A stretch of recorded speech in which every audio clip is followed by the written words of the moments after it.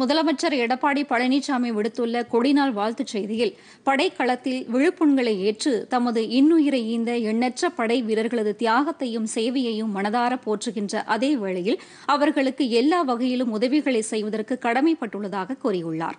மக்கள் அனைவரும் தேசபக்தியை வெளிப்படுத்தும் வகையில் கொடிநாள் நிதிக்கு தாராளமாக நிதி உதவி வழங்க முன்வர வேண்டும் என்றும் அவர் வலியுறுத்தியுள்ளார். முன்னாள் படை வீரர்களின் நலன்களுக்காக தமிழக அரசு செயல்படுத்தி வரும் பல்வேறு நலத்திட்டங்களையும் முதலமைச்சர் தனது வாழ்த்துச் செய்தியில் விளக்கியுள்ளார்.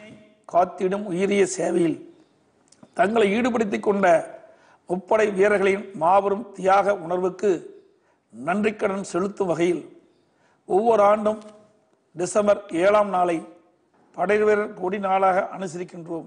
தமது இன்னுயிரை ஈந்த எண்ணற்ற படை வீரர்களது தியாகத்தையும் சேவையும் நாம் மனதார போற்றுகின்ற அதே வேளையில் அவர்களுக்கு எல்லா வகையிலும் உதவிகளை நல்குவதற்கு நாம் கடமைப்பட்டுள்ளோம்.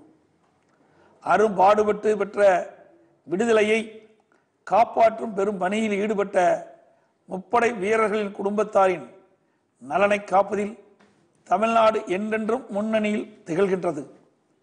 இந்த இனிய நாளில் முப்படை வீரர்கள் மற்றும் முன்னாள் படை வீரர்கள் அனைவருக்கும் என்னுடைய வாழ்த்துக்களை தெரிவித்துக் கொள்வதோடு நமது முப்படை வீரர்களின் தன்னலமற்ற சேவையை போற்றும் வகையிலும் நம் தேச பக்தியை வெளிப்படுத்தும் வகையிலும் கொடிநாள் நிதிக்கு தாராளமாக நிதியினை வழங்கிட வேண்டுமென அனைவரையும் நான் அன்போடு கேட்டுக்கொள்கின்றேன். இதற்கிடையே முதலமைச்சர் எடப்பாடி பழனிசாமி தமது முகாம் அலுவலகத்தில் சென்னை மாவட்ட ஆட்சியர் சீதா லட்சுமியிடம் கொடிநாள் நிதிக்கு நன்கொடை வழங்கினார்.